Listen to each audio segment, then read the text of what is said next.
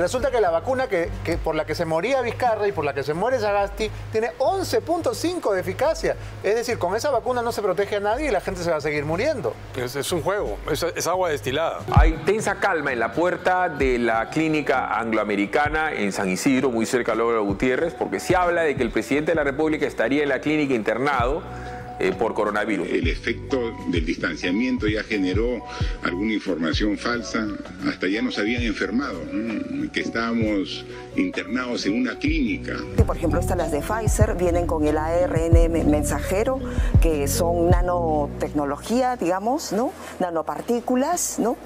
Es decir, aquí lo que quieren convertir a los ciudadanos en celulares.